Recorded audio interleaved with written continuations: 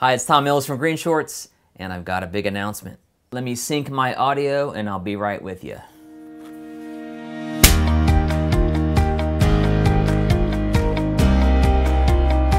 We've been posting videos almost every Thursday and Saturday for the past six months.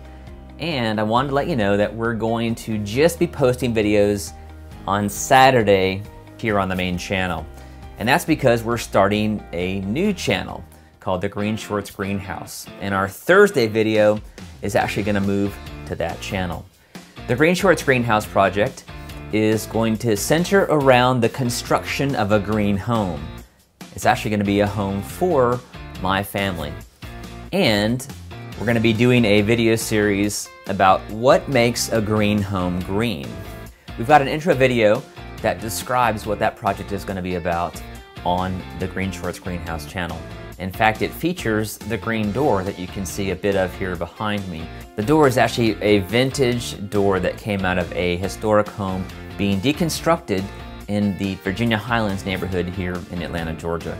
On the GreenShortz Greenhouse channel, we'll be talking to green building experts. We'll be looking at the strategies and techniques that go into making a greenhouse green, as well as the different products that will make our home sustainable and efficient. If you're already a subscriber here on the main GreenShortz channel, we invite you to subscribe to the GreenShortz Greenhouse channel by clicking on this annotation or the card in the corner above.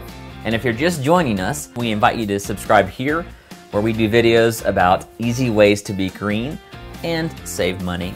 And you may not realize we actually have a third channel as well, which is GreenShortz DIY.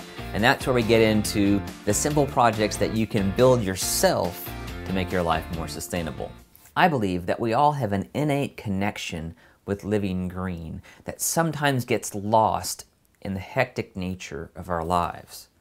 Our mission here at GreenShortz is to reconnect you with your green, to simply help you see green so you can be green.